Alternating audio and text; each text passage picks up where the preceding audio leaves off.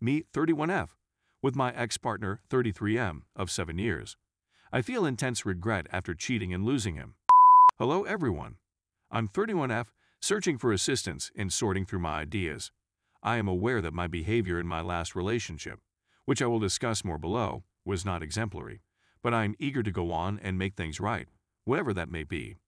Part of it is being honest about my situation. Thank you for whatever advice you can provide, whether it's harsh or not. I was in a seven-year relationship with a man 33M that ended about a month ago. We split up because I had an emotional affair with another person for around two months and my ex-partner found out. In many respects, our relationship was wonderful, and he is a fantastic life partner. We had similar perspectives, life objectives, occupations, certain hobbies, food preferences, and so on. We were great friends, and I could always count on him. He's clever, witty, tremendously emotionally balanced, and genuinely has his together. He's also possibly the nicest, most self-disciplined, and one of the most genuine and easy to get along with individuals I know.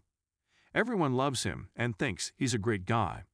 We've been doing long distance for a number of years, and despite living in separate states, we've made it work. Toward the end, he was often visiting me, and we planned to seize the LDR in the next months, when his work assignment was over. He was fairly stressed with work at the time, and I could tell that he was looking a little worn down during our daily talks and was getting a little tough to talk to. He always maintained that some days he simply didn't have much to say and would be a little quiet. For a long time, I had my doubts about our relationship, since I felt that we were simply friends and that the spark between us had gone out of existence. It took about a year and a half before I felt emotionally attracted to him, and to be really honest, I'm not sure I was physically attracted to him after that. In the years that we were living together, our life wasn't always that regular. It was maybe once or twice a month at the most, and was becoming less fascinating for me as time went on. He had a much larger drought than I had, and he had brought it up several times, expressing his want to have more with me and to make me feel complete as well.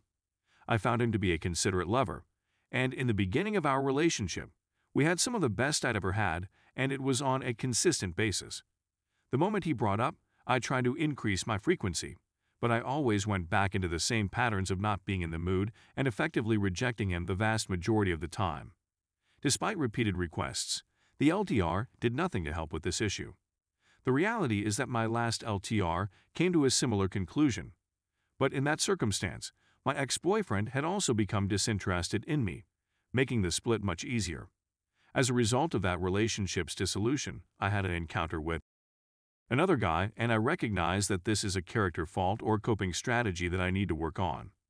My current ex-partner was quite open to the idea of seeking to improve our life together in the future. But I have to admit that I was bad at communicating with him and didn't put forth much effort to improve in general, since I believe I was just no longer feeling it and didn't know how to express myself properly. I've been worried about this communication problem for a long time, I've realized. My parents are terrible communicators with weak connections, and some of my first contacts and encounters occurred when I was very young, which were not the best starting points for me to develop my identity. My ex and I are no longer together, and he has ceased contact with me as a result of our split. I have a lot of regrets about how it all ended, and even more regrets about the fact that it ended at all. During that time, I was having a stupid emotional affair with a guy who is still in contact with me, who I really just had a lot of desire for when we first met, and who wanted to sleep with me as well. I'm still in touch with him, knowing I was in a relationship. While I politely declined his advances, I relished the attention and just continued conversing with him, we are too far apart now for anything to happen. Many of my friends have lately gone on love hunts of their own, and I feel that their experiences have brought home to me the fact that I wasn't having as much fun with my ex as I used to be. As a result, when this gentleman came along and showered me with attention, I couldn't help but maintain in contact with him. Basically, I'm looking for any words of advice on how to go on from this, how to cope with my anxieties, and whether or not anybody else has had a similar experience. I recognize that what I've done has been very disrespectful, and I recognize that I must tackle these issues head on. Aside from that, I'm feeling so depressed that I really want to contact him and try to make things work again, but I know I should wait until I've sorted out my own problems first, and that doing so would be really selfish of me. Even if I end up meeting someone I'm more attracted to in the long term, my gut tells me that they won't have the same characteristics as my ex, and I'm beginning to realize where my reasoning went wrong. When it comes to finding someone like him again, I'm not sure I'm worthy of the opportunity.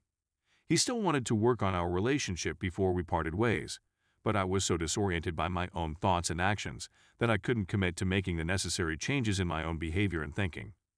Thanks for whatever advice you can provide, no matter how severe it is. I appreciate your help. Story 2 Every boyfriend I've had has cheated on me. Every partner I've ever had, including my current one, has cheated on me in some way or another.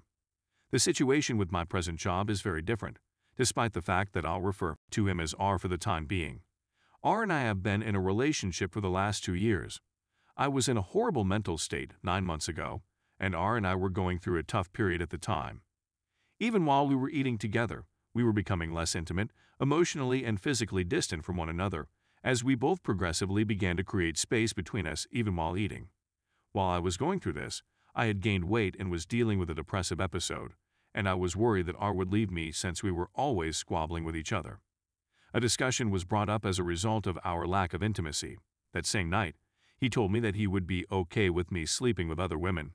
In return, I requested that he do the same with other women.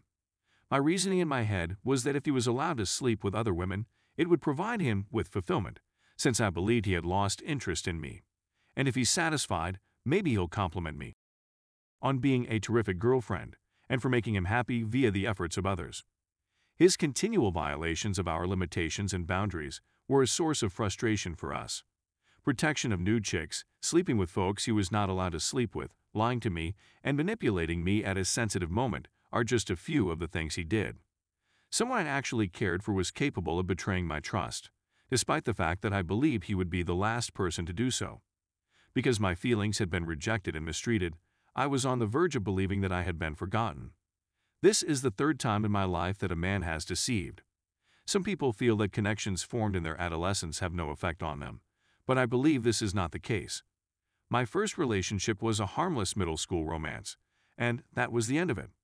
In the seventh grade, I had been seeing a man for so long that I went to a sleepover and made the mistake of allowing a girl I believed was my friend to use my Kik account to contact my boyfriend, thinking they were already friends since they were. I then looked into the messages and realized that he wanted to quit his relationship with me in order to be with her full time. I made the mistake of allowing her to continue conversing with him, and as a result, I was dumped the next day. My second boyfriend was a ninth grader, and he was my third lover. In the middle of our month-long relationship, he expressed the desire for some time apart where we wouldn't be conversing as much or spending so much time together. I gave my approval since that was what he requested. After a month, I got suspicious and inquired as to why he had decided to take a vacation from working. As a result, I grew afraid that he was having an affair with another girl and contacted him about it. According to him, he has been conversing with another female he is interested in since last month. So I assured him that everything was okay, and he decided to quit our relationship. Men have asked me out twice in my life as a joke, where they would date me for a week or two and then tell me it was all a hoax arranged by their friends. I've accepted both invitations. Where has my masculinity gone wrong? Why don't the males in my life take me seriously and treat me as if I'm disposable with no feelings that may be hurt? No one treats me as though I am a real person or a human being deserving of dignity and consideration.